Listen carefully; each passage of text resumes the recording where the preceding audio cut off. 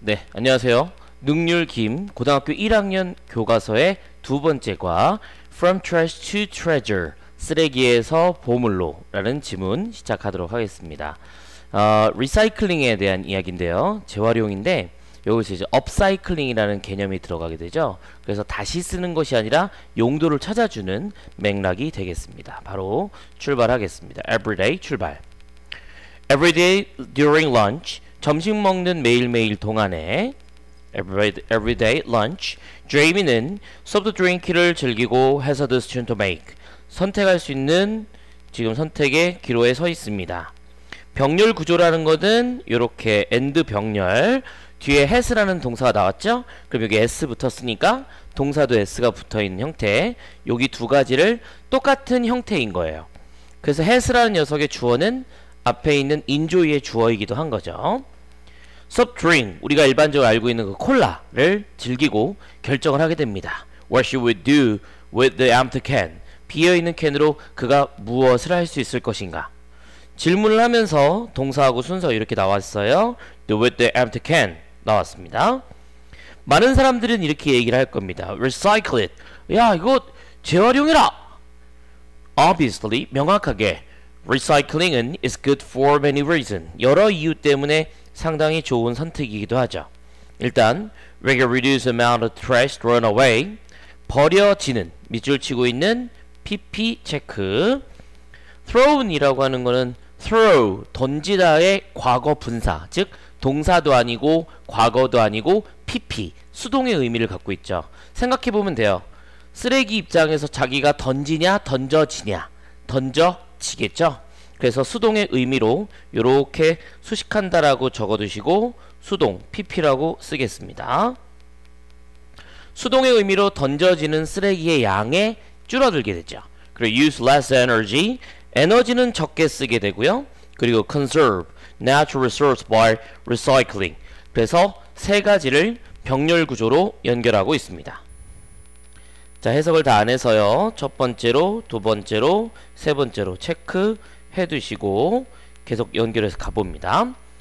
일단 버려지는 쓰레기 양을 줄일 수 있다. 그 다음 두 번째 새로운 문제를 물건을 만들기 위해 우리가 쓰는 것보다 적은 에너지를 쓸 수 있게 된다. 그 다음에 재활용을 통해서 자연 자원들을 더 보존할 수 있다. 이렇게 해석이 되시는 거죠. 두 번째 문장에 보면 여기에 비교급으로 나와 있는 than과 less가 나오는데요. than 이하는 비교 대상. 그래서 아예 새로운 물건을 예를 들어서 어, 콜라 깡, 깡통을 새로 만든다 라고 하는 것보다 그걸 다시 녹여서 만들거나 무슨 캔이나 뭐 병 같은 걸 재활용하는 것은 아무래도 적은 에너지를 쓸 수 있는 거잖아요 그래서 이 부분에 less 같은 경우는 시험 문제를 출제할 때 학교에서 less를 반대말인 more로 넣어놓고서 어휘 추론 문제로 나올 수 있는 부분입니다. 어휘 추론.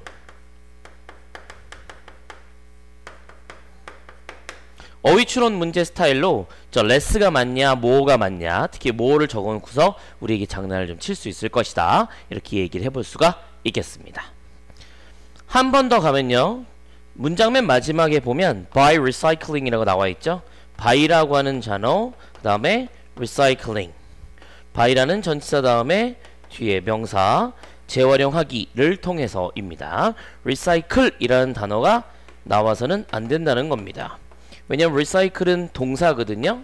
그래서 동사는 전치사 다음에 명사가 나올 수가 없, 명사가 나와야 되는데 동사가 나올 수가 없는 거죠. 그래서 이렇게 recycle은 잘못됐다라고 생각해 두시면 되겠습니다. 자, 병렬 구조 나왔고요. 비교급 나왔고 전치사에 동명사 ing까지 여러 가지 나온 문장 잘 기억하고 다음 문장으로 가겠습니다. 하지만 however, recycling is not a perfect way to manage waste. 쓰레기를 관리할 수 있는 완벽한 방식이 되지는 못해요. 그것은 여전히 많은 에너지를 요구하게 되죠. 뭐 하는데? To purify, use resources and convert them into new product 나와 있습니다. and라는 병렬 구조를 이렇게 세모 칠했어요.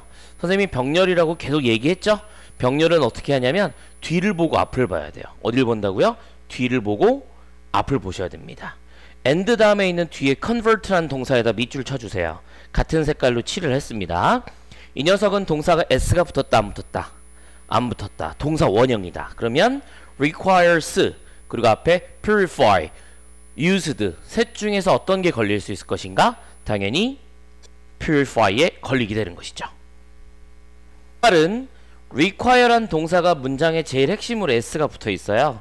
주어가 3인칭 단수였기 때문에 주어 동사 일치가 이루어진 거죠.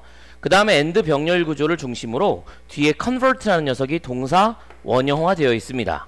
그럼 얘랑 똑같이 생기지 않은 거예요. 그럼 똑같이 생긴 녀석이 누구였냐면 위에 있는 purify거든요. 얘가 동사 원형이 된 이유는 앞에 to라는 투부정사가 붙어서 to가 붙어 있기 때문에 이 자리도 아 동사 원형이라는 뜻이구나. 그래서 실제로 이렇게 to가 생략되어 있는 형태입니다. 그래서 시험 문제에 이 convert에다가 convert라고 쓰면 틀린 겁니다. 요구하고 전환하는 게 아니거든요. convert의 과거 converted 얘도 틀린 겁니다. 왜? 투부정사의 일부였으니 이 자리는 무조건 동사 원형화 시켰어야 되는 것이거든요.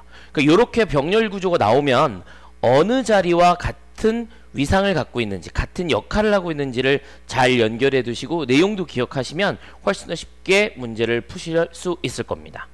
자, 다시 돌아와서 문장 두 가지를 병렬로 연결해 보겠습니다. It requires 그것은 요구하게 된다. large amount of energy 많은 에너지를 뭐 하기 위해서 to purify used resources 일단은 첫 번째로 사용된 자원을 정화하기 위해서 그 다음에 convert them into new product 그 자원들을 새로운 물건으로 전환하기 위해서는 아무래도 더 큰 에너지를 들기 때문에 재활용은 한계가 있다라는 것이죠. So, what about 그러면 what about trying to creatively reuse or upcycle them instead?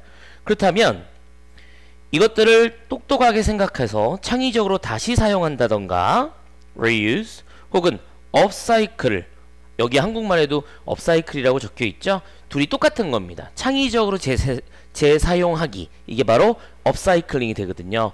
대신에 업사이클링 하는 건 어떨까요? 라고 물어본 거예요. This new approach 이러한 새로운 접근법은 is becoming more popular 점점 점점 요즘에 더 인기 있어지고 있는 중입니다. 왜냐하면 it is even more environmentally friendly 그것은 훨씬 더 환경적으로 친하기 때문에 그렇습니다. 자, 요 부분 밑줄 친 부분을 좀 더 확대해 보겠습니다. 확대를 하고 우리 화면을 통해서 칠판을 통해서 좀 더 설명해 드리도록 하겠어요. 같이 필기 준비해 주세요. Even more environmentally friendly. friendly라는 단어는 friend라는 친구에다가 ly를 붙였죠. 그래서 ly를 붙이게 되면 명사에다 ly를 붙일 경우 형용사가 되는 거예요. 그런데 앞에 있는 environment에다가 tall까지 붙이면 이 녀석이 형용사입니다. 여기다가 ly를 붙였을 때는 이 녀석은 부사가 되죠. 선생님이 이런 인강을 찍어서 할 때 가장 걱정되는 게 그 전에 아무것도 공부를 안 했을까봐 걱정이에요. 기본으로 단어 외우셔야 되고요. 두 번째로는 품사가 뭔지 선생님이 처음에 알려준 그 품사론 요걸 다시 한번 복습해도 괜찮습니다. 아 나 이거 내용이 너무 어렵습니다. 품사론 읽으세요. 다시 한번 공부하십시오. 그러면 여러분 훨씬 더 쉽, 쉬울 거고 지금 공부하는 것뿐만 아니라 앞으로도 영어를 더 잘 이해할 수 있을 거예요. 우리 영어 어렵지만 기초적인 거 하면 충분히 따라잡을 수 있을 거고 우리가 영어를 하기가 쉽습니다 생각보다 왠 줄 알아요? 문 열고 나오면 다 영어예요 그쵸? 스타벅스잖아요. SK텔레콤이죠. 현대모터스 아닙니까? 딱 봐도 다 영어예요. 안 그래요? 한국 한문이에요? 어? 순 우리나라 말 많이 쓰니? 안 쓴단 말이야. 영어 많이 쓴다고. 그러니까 쫄지 마. 제대로 공부하면 돼. 돌아오세요. 어쨌든 부사는 어떤 녀석이냐면 동사를 수식하니까 부동사. 그래서 동사랑 어울리죠. 해석은 환경적으로라고 해석이 됩니다. 환경적으로. 여기는 friend에다 ly 붙인 단어는 친화적인 이런 뜻이죠. 여러분 단어 외우면 됩니다. 그런데 친화적인 게 형용사인지 아는 방법이 있어요. 이렇게 외우지만 단어의 뜻을 외우면 명사랑 어울려요. 누가? 형용사가 친화적인 구장, 친화적인 사람, 친화적인 문제. 환경적으로라는 말은 명사랑 안 어울립니다. 환경적으로 사람, 환경적으로 구장, 환경적으로 문제 아니죠. 환경적으로 문제다. 환경적으로 만들었다. 환경적으로 행동했다. 동사랑 어울리죠? 부동사 부사입니다. 그래서 환경적으로라는 말 부사고 똑같이 ly 붙었지만 친근한, 친화적인이라는 형용사라인 점 잘 기억해 두셔야 되겠죠?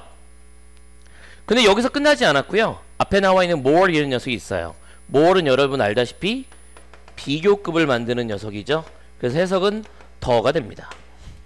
그래서 더가 environmentally라는 부사를 꾸며줘요. 그래서 부사입니다. 그래서 비교급으로 더 환경적으로 친화적이 됐다는 것이죠. 하나 더.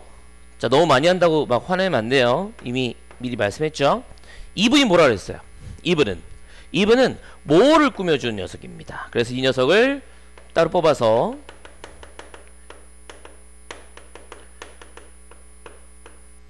비교급을 강조하는 부사라고 임명하겠습니다. 비교급을 강조하는 부사다. 근데 이 비교급을 강조하는 부사는 해석할 때 훨씬 정도로 해석이 돼요.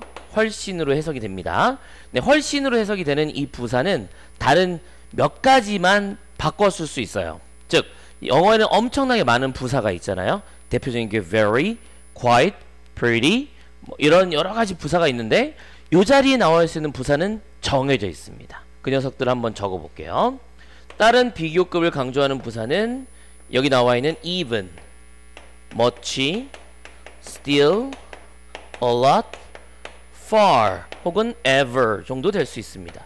ever는 쓰는 경우도 있고 안 쓰는 경우도 있기 때문에 제가 여러분에게 당부드리고 싶은 거는 이 녀석 둘, 셋, 넷, 다섯 개는 반드시 외워두시고 이 자리에 very가 나온다 라고 하는 것은 틀린 어법이라는 것까지 알고 있으면 비교급 수식하는 부사는 100% 정복인 거예요. 아시겠어요?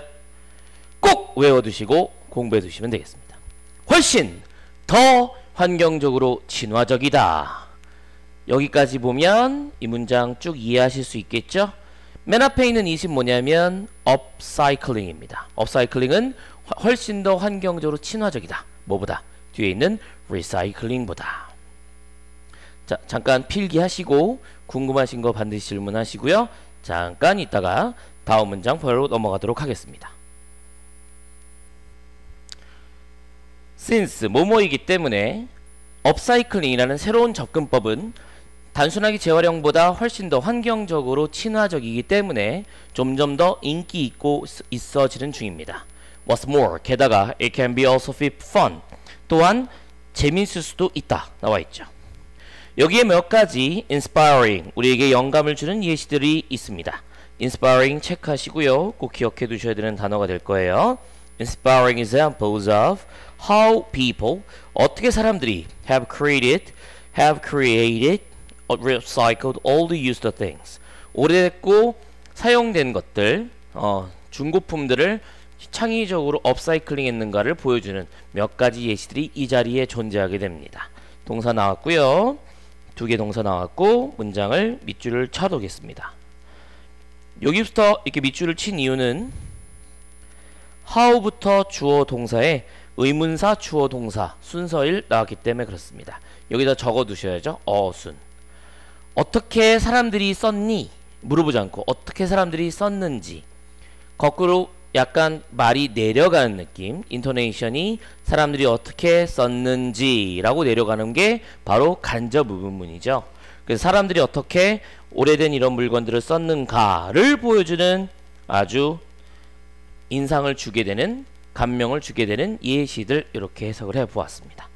자 다음 Power Creativity 본문 두 번째로 갑니다. Through recycling upcycling 죄송해요. upcycling을 통해서 seemingly useless object. seemingly는 l와 붙어 있죠. ly는 겉으로 보기라는 부사. 그래서 문장의 동사 앞에 있는 object는 이렇게 수식이 된 거죠. 겉으로 보기에 쓸모없는 물체가 something으로 바뀌어질 수 있습니다. something은 completely different that is used for everyday life. That부터 여기까지 관계대명사 형용사는 여기서부터 completely different. 그래서 거꾸로 이렇게 수식이 되고 있는 것이죠. 자, 그런데 이 뒤에 있는 수식은 대승 관계대명사니까 선행사를 저 앞에 있는 something으로 바꾸셔야 될 것 같아요. 그래서 얘가 동시에 이렇게 something을 꾸며준다 라고 보시면 되겠습니다. 수식의 대상을 노란색으로 체크를 할게요. 칠판을 이쪽을 보겠습니다.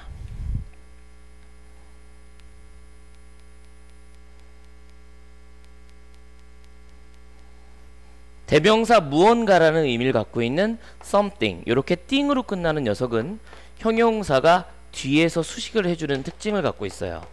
자, 형용사는 명사나 대명사를 꾸며주거든요.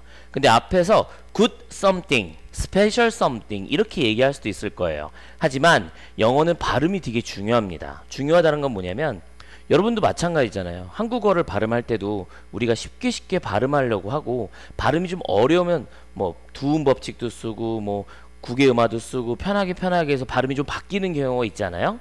영어에서도 마찬가지인데 띵으로 끝난 다음에 형용사 뒤에서 꾸며주는 게 훨씬 더 발음이 부드러운 거예요. something special, something great. 근데 요거를 special something 혹은 great something 이렇게 얘기하는 건 네이티브 스피커들이 매우 불편해했다는 거죠.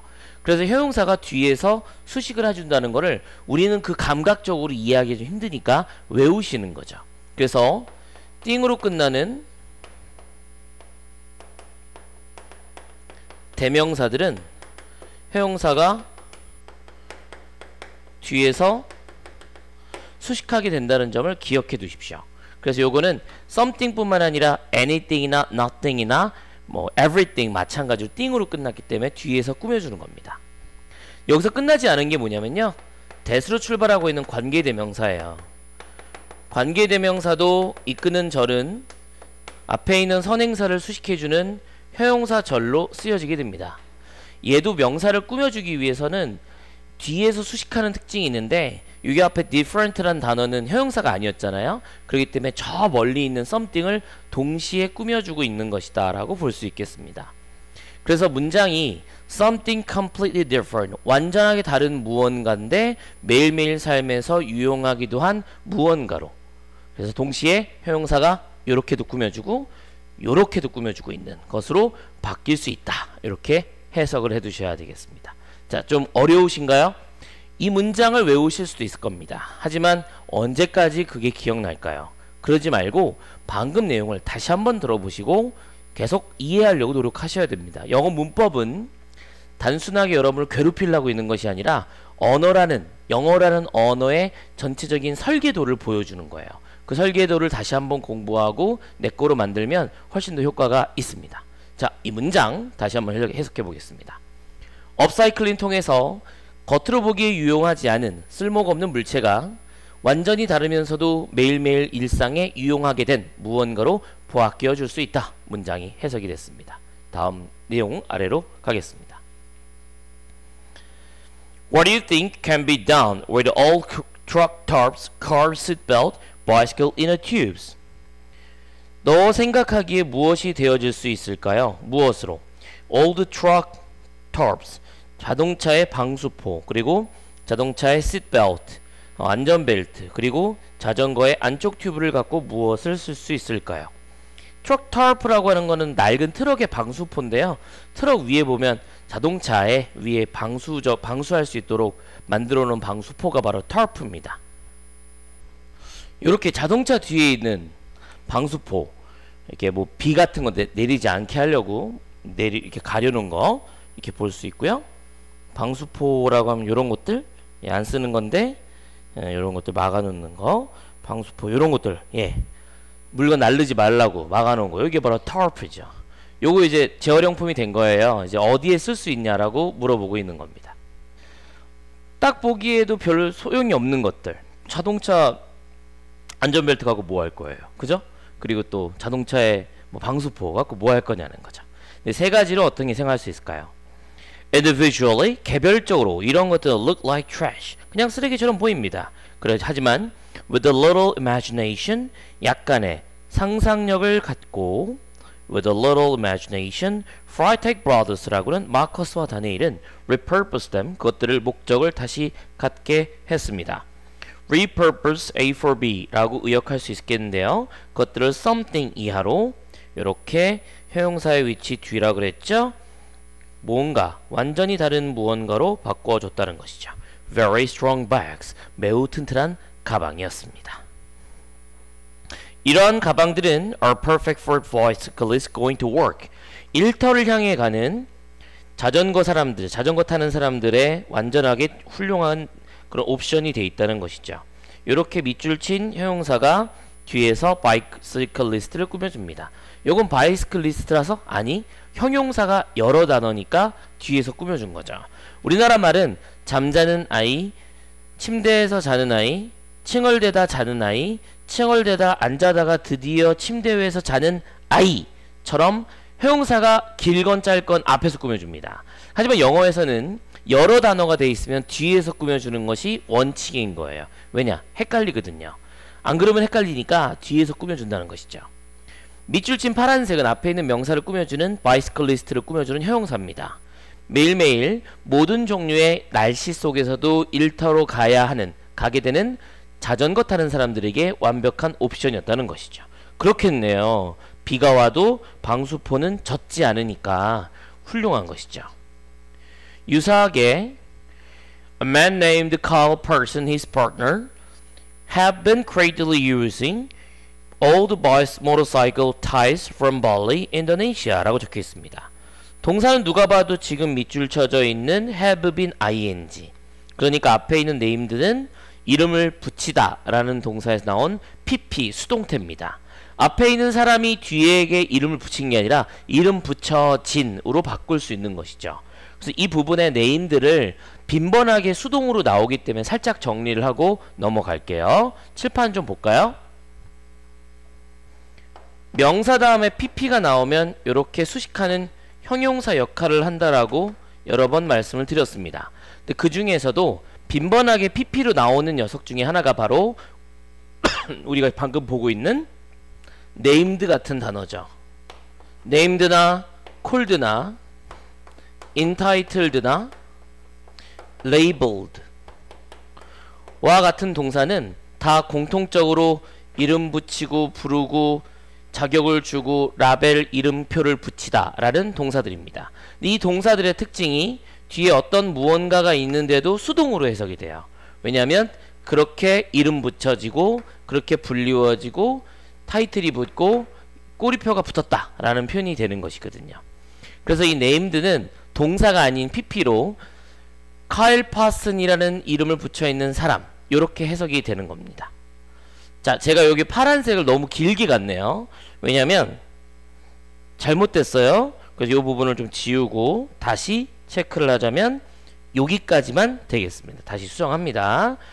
그래서 a man 카일 파슨이라는 이름을 갖고 있는 사람이기 때문에 저 자리의 named는 수동의 구조가 돼요. 그래서 만약 저 자리를 능동의 구조로 naming이라고 쓴다면 앞에 있는 사람이 카일 파슨이라는 이름을 쓴다는 의미이기 때문에 네이밍으로 써선 절대로 되지 않습니다. 그리고 이 녀석이 동사가 아니기 때문에 저 뒤에 나와 있는 have라는 동사를 무조건 갖고 있어야 되죠. 그래서 이 자리를 동사로 ing를 붙여서 have being으로 쓴다든가 to have를 쓴다든가 라고 하게 되면 전체적인 맥락에서 틀린 문법이다 라고 볼 수가 있겠습니다. 왜냐? 이 문장 하나에는 동사가 하나가 원칙이니까. 그래서 저 뒤에 있는 초록색 have been creatively using 저 녀석을 동사로 보고 name들을 동사로 써서는 안 되겠습니다. 자, 칠판 다시. 그래서 동사 have been creatively using 이 녀석과 주어 동사를 간단하게 보려고 했는데 have가 has가 아니에요. 즉, 저 앞에는 a man이 주어인 줄 알았더니 저 주어가 끝나지 않은 거였습니다. 그래서 주어가 어디까지 가냐면 and 병렬로 a man 이라는 사람이 1번 주어, 그 다음에 his partners 두 번째 주어 요 둘을 합하니까 당연히 복수가 돼서 have란 동사가 나올 수 있었던 것이죠. 그래서 저 앞에 있는 사람과 그의 파트너들이 창의적으로 만들어주고 있는 중이었다. 만들고 있는 중이어 왔다. 혹은 옛날부터 지금까지 만들고 있는 중이다가 되는 것이죠. 뭐를? Old 오래된 motorcycle 타이어. 모터사이클은 우리가 일반적으로 얘기하는 오토바이. 오토바이의 타이어를 발리에서 만들고 있는데 reusing 다시 무언가로 만들고 있는 상태가 된다 라고 해석되고 있습니다. 다음 페이지 볼까요? A shocking number of tires get thrown away. There every year. get thrown away. 100% 동사. 문장의 주어는 많은이라는 의미를 갖고 있는 a shocking number of 워낙에 많은 타이어들이 거기서 매년 버려지고 있대요. get thrown away 마구마구 버려지고 있답니다. 그리고 그것들은 serious environmental problem 심각한 사회, 환경적 문제였습니다. 왜냐하면 그것들이 decompose or be recycled 알아서 분해되거나 재활용될 수가 없기 때문에 그런 것이죠. 엄청나게 많은 타이어가 매번 나오는데 그것들은 환경적인 문제라고 이야기를 하고 있습니다. 빨강색 빨강색으로 연결된 것들은 다 타이어에 대한 이야기인 것이죠. To solve this problem, 이 문제를 풀기 위해서 투부정사의 부사적인 용법으로 보라색 이렇게 해석이 되죠. 이런 문제를 풀기 위해 person과 자신의 팀이 are turning them into sandal bottom. 이것들을 샌달의 아랫부분, 샌달의 바닥 부분으로 바꾸고 있는 중이다 라고 해석이 되겠습니다. 그리고 나서 그들은 use canvas and natural materials to make the auto sandal part. 캔버스와 다른 자연적인 물질들을 이용해서 다른 샌달의 다른 부품들, 부품이나 부분들을 만들고 있답니다. What a great reuse of resources. 자원의 아주 훌륭한 재활용이 되고 있는 것이지요.